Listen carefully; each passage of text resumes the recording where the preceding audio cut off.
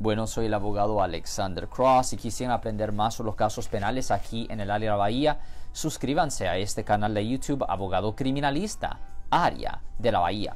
So, nosotros recibimos una pregunta interesante por medio de nuestro canal de YouTube.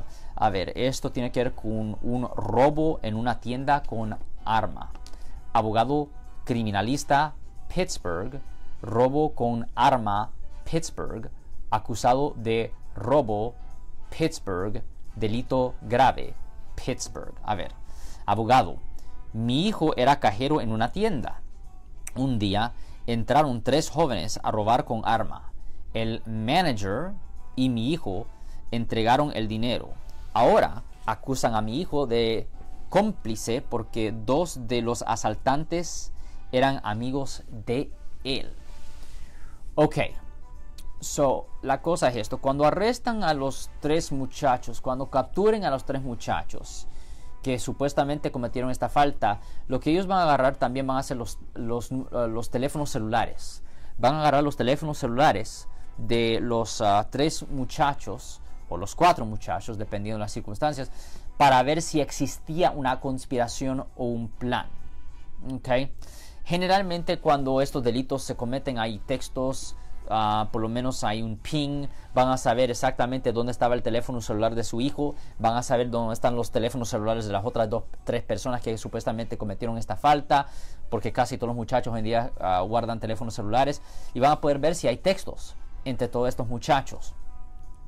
Y si todos estaban en máscara y todo eso, y si no hay ningún texto, no hay ninguna llamada, nada indicando que él era parte del plan, pero específicamente si habían textos y llamadas entre los otros tres muchachos, pero no necesariamente entre su hijo, va a ser bien difícil, aunque sean amigos, va a ser bien difícil enseñar que a su hijo era parte del plan. Ahora, si los muchachos entraron sin máscara, sin máscara, a cometer el robo, pues el muchacho, el, su hijo, él hubiera reaccionado, decir, hey, ¿qué están haciendo ustedes? O eh, él hubiera reaccionado de una forma eh, si los conocía.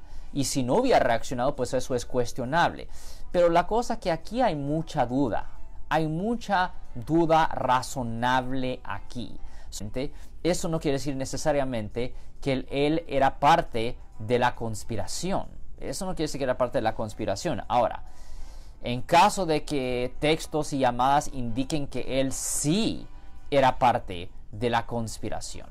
En esa circunstancia específica, ahí le podían presentar cargos bajo el Código Penal sección 182, que es conspiración de cometer un delito que conlleva una pena potencial de hasta tres años en prisión. Más, bajo esa misma teoría, le pueden presentar cargos bajo el Código Penal sección 211 que es de robo que conlleva una pena potencial de hasta 5 años en la prisión estatal más un strike o golpe. Y también le pueden presentar cargos por una violación del Código Penal sección 12022 paréntesis A paréntesis 2 que es el cargo de portar una arma de asalto durante el curso de cometer un delito que le agrega otros tres años adicionales a la ofensa. Pero en esta circunstancia, la primera cosa que la policía tiene que hacer con la investigación es ver los textos entre los muchachos para ver si él legítimamente era parte de la conspiración. Pero hay mucha duda razonable aquí. De cualquier forma, si quisieran aprender más sobre los casos penales aquí en el área de la Bahía, no se olviden suscribirse a este canal de YouTube Abogado Criminalista Área de la Bahía. Pero si usted ha sido arrestado por un delito y necesita representación en la corte, pues llame ahora para hacer una cita gratis al 1-800-530-1800. De nuevo 1-800-530-1800. En el próximo video que vamos a hacer, vamos a hablar del caso de una persona que tuvo un DUI en Texas y ahora se vino a California donde cometió otra falta. Abogado criminalista Pittsburgh, abogado de robo Pittsburgh, acusado de robo Pittsburgh. Si les gustó este video, suscríbanse a este canal, aprieten el botón para suscribirse y si quieren notificación de otros videos en el futuro, toquen la campana para obtener notificaciones.